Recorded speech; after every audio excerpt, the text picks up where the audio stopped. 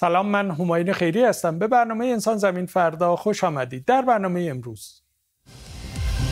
دولت یا مردم چه کسی برای تغییر کاربری یک منطقه تصمیم می‌گیرند من نظر بهرامی امروز براتون از تغییر کاربری یک مجموعه صنعتی به یک پارک خانوادگی گزارش میدم.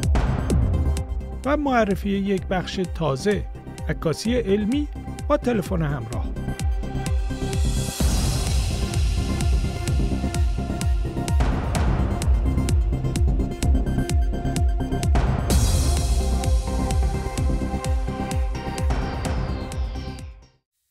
یکی از مهمترین جوایز مستقل علمی ایران جایزه مهرگانه که آقای علیرضا زرگر بنیانگذار اونه.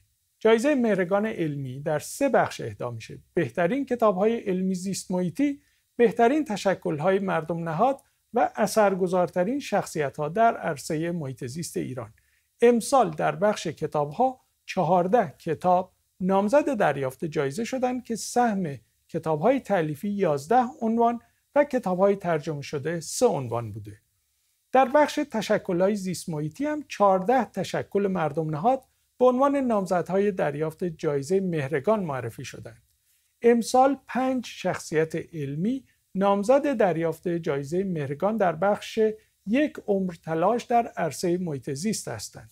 دکتر حسین آخانی سنجانی با مجموعه آثار و خدمات آقای مزفر افشار احیا کننده درختان بلود در منطقه زاگروس دکتر هایده شیرازی برای خدمات ترویجی و آموزشی زنده یاد مهندس هنریک مجرونیان برای مجموعه آثار و خدمات و دکتر علی یخکشی برای مجموعه آثار و خدمات.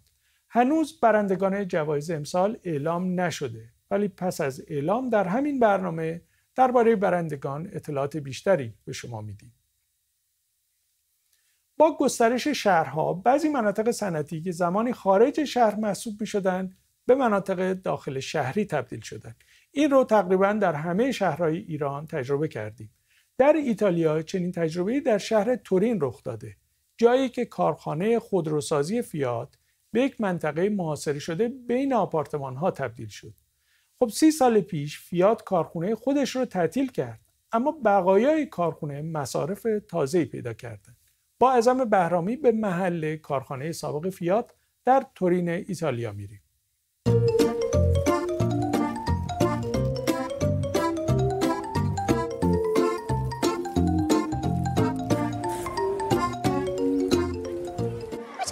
تصور کنید زمانی این سوله پشت سر من بخشی از کارخونه اتومبیلسازی فیات بوده با صدای قطعات و با بخار آب و بوی کرم که همه جا رو گرفته بود. اما سال 1998 تاریخ و هویت این مجموعه صنعتی برای همیشه تغییر کرد.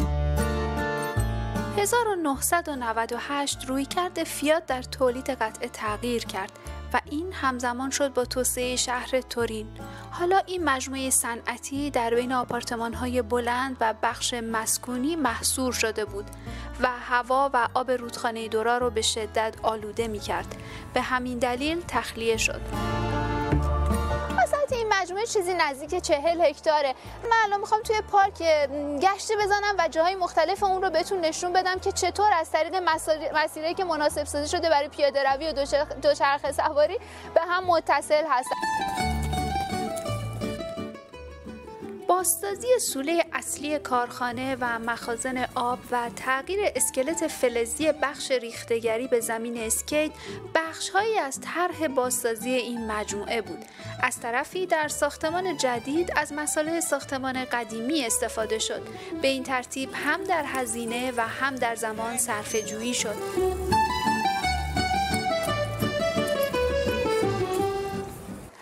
که دیدیم فضای پارک زیرسازی مناسبی داره برای استفاده همه سنین حتی برای معلولین. اما این همه ماجرا نیست. دانشگاه تورین با همکاری مجموعه که این پارک رو اداره می‌کنن در حال توسعه آزمایشگاه مناسب برای گیاهپزشکی که اونم یکی از بخش جدید پارکه. اما وقتی که توی پارک قدم می‌زنین همچنان تاریخ پارک رو در اطراف خودتون می‌بینید. گزارش اعظم بهرامی بود درباره تغییر کاربری یک کارخانه خودروسازی به یک محوطه تفریحی و هنری.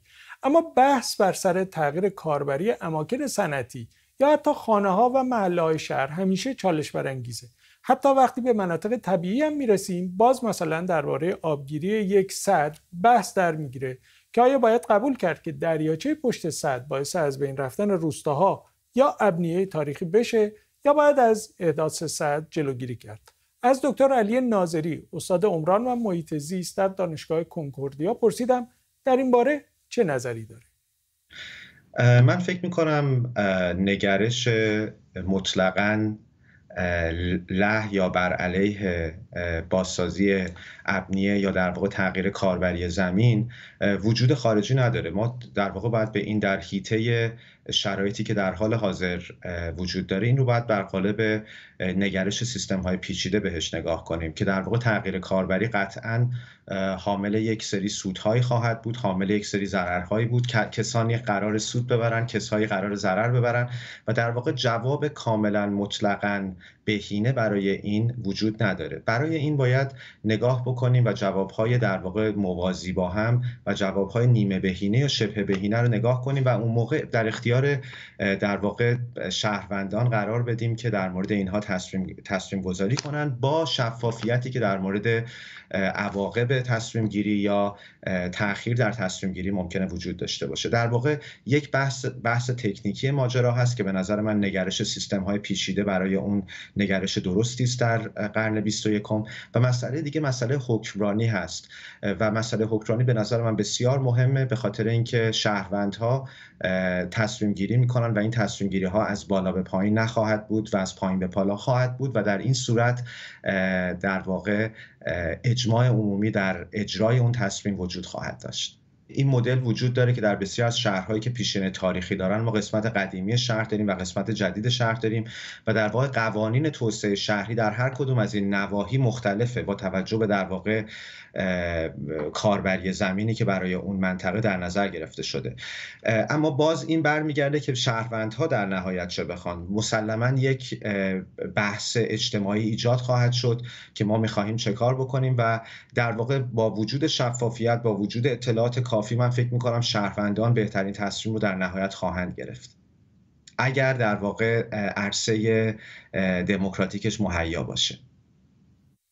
از امروز یک بخش تازه به برنامه اضافه کردیم. این بخش مربوط به عکاسی علمیه که دانش ساروی عکاس و فیلمساز در قسمت های کوتاه روش عکاسی حرفه‌ای با دوربین های تلفن همراه رو نشون میده. بخش اول درباره عکاسی پانوراما یا جهان نماست.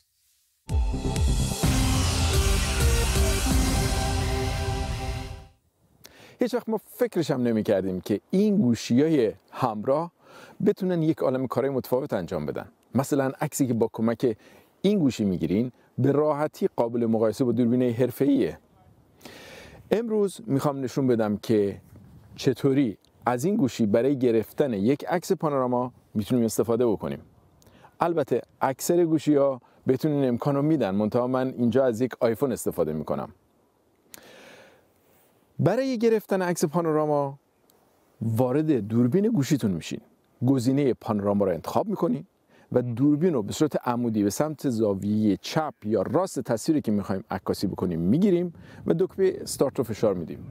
و دوربین رو تا جایی که مد نظرمون هست که در تصویر باشه رو میچرخونیم و در پایان دکمه استارت رو دوباره فشار میدیم. والا امروز از طبیعت ایران این پرنده رو انتخاب کردم. بهش میگن لاچین که از راسته شاهینسانانه. طول بدن لاچین بین 45 تا 52 سانتی متره یعنی به اندازه شاهین. منتها گزارش های مربوط به شناسایی لاچین نشون میدن پراکندگی جغرافیایی این پرنده در ایران بسیار زیاده از شمال غربی و شرقی ایران تا جنوب غربی و شرقی. مثلا لاچین در خراسان، کرمان، ارومیه، اردبیل و هرمزگان هم دیده شده. البته هر جا در 17 استانی که لاچین شناسایی شده تعداد این پرنده بسیار کم بوده. مقاله مشترک آقایان ابوالقاسم خالقیزاده افشین زاری و محمد تویدیفر به این پراکندگی اشاره می‌کنه که تهران هم جز مناطقی بوده که لاچین رو در اونجا دیده بودن. لاچین گونه های مختلفی داره که در سراسر جهان پراکنده هستند. اما بقایای فسیلی نشون میدن این پرنده از 200 هزار سال پیش روی سیاره زمین وجود داشته. خیلی خیلی قدیمی تر از انسان. از معرفی لاچین میریم به بخش خبرهای کوتاه از محیط زیست. پژوهشگران دانشگاه ایلینوس تونستن با استفاده از اطلاعات ماهواره‌ای میزان فتوسنتز گیاهان را اندازه‌گیری کنند. فتوسنتز به فرایندی گفته میشه که گیاهان از طریق اون از نور خورشید، آب و دیوکسید کربن برای تولید اکسیژن و شیره پرورده استفاده می‌کنند. اینکه گیاهان روی زمین چقدر دیوکسید جذب می‌کنند به طور دقیق مشخص نیست.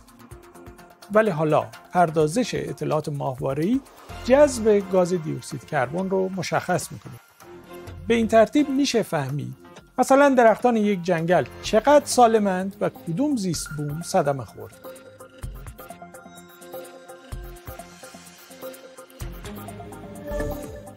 و پژوهشگران در فنلاند میگن تغییرات اقلیمی باعث سرعت گرفتن مهاجرت پرندگان مهاجر شده.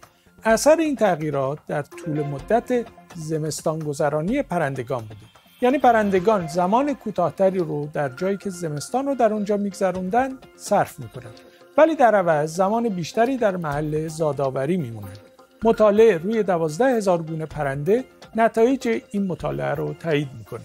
به این ترتیب باید انتظار داشت در مناطق گرمسیری پرندگان کمتری رو در دوران زمستان گذرانی ببینید